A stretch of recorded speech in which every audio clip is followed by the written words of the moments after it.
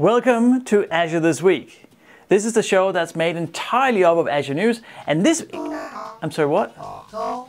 Nothing. We have we've we have we have no news this week. Uh, that's awkward.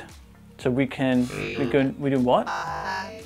We're doing seven seven reasons to do cloud certifications apparently.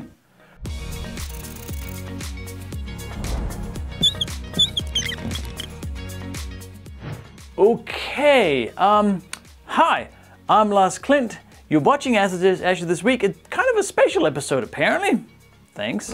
But let's start with that then. What are seven things that you might want, seven reasons why you might want to do cloud certification? Well, number one, makes you stand out, right? Currently, there's massive amounts of demand for cloud engineers. Almost any kind of job in cloud computing and that's not going to go away. So if anything, take a cloud certification to kind of prove, hey, I have some skills in this space, and not only will you look better to your peers, mm, of course, but you'll stand out on resumes when you might have to find a job. Yeah, so um, number two, um, number two, number two is that when you have a cloud certification, your earning potential is actually higher. Yes, people that have cloud certifications have a higher salary. The stats don't lie.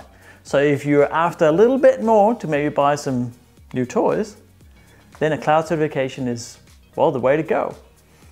Oh, perfect. Excellent. All right, number three.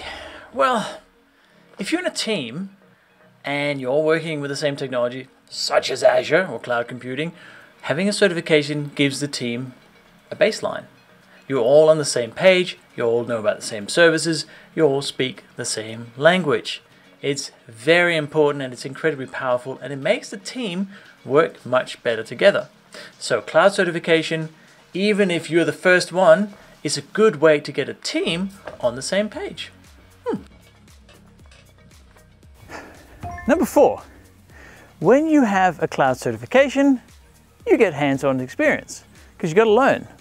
So by going through the motions of the, you know, the, the learning and the exam and everything, you put your hands on the tools. Well, I hope you do. But if you need help with that, at ACG, we do have hands-on labs as part of the platform, which are superb, where you can break everything without actually breaking everything. Press all the buttons. So hands-on experience is a huge part of being certified in the cloud.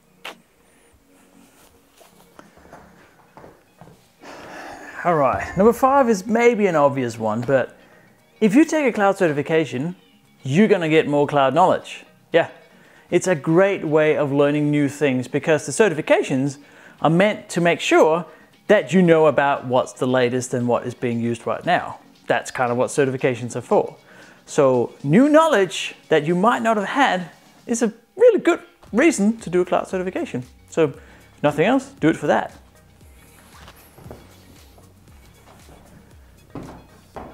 So number six is that new tech is less scary. Yeah, if you get a cloud certification, then you have a base level of knowledge and any new features and new you know, services that come into that space is less scary because you already have an idea of what it is.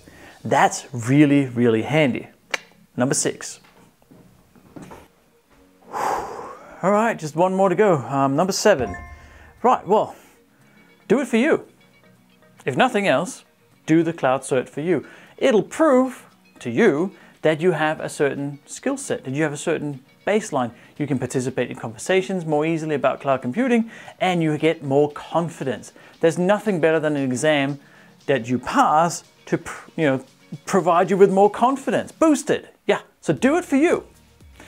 All right, well, I hope that was useful. That was seven reasons why you might want to consider doing a cloud certification in 2023. And of course, on the ACG platform and the Pluralsight platform, we have lots of courses to help you out doing just that. We've had really good success with people actually passing based on those courses, and they're not boring. All of them are kind of like a bit of fun. So do it. Anyway, I'm Lars Klint. I hope you enjoyed this no news week on Azure this week.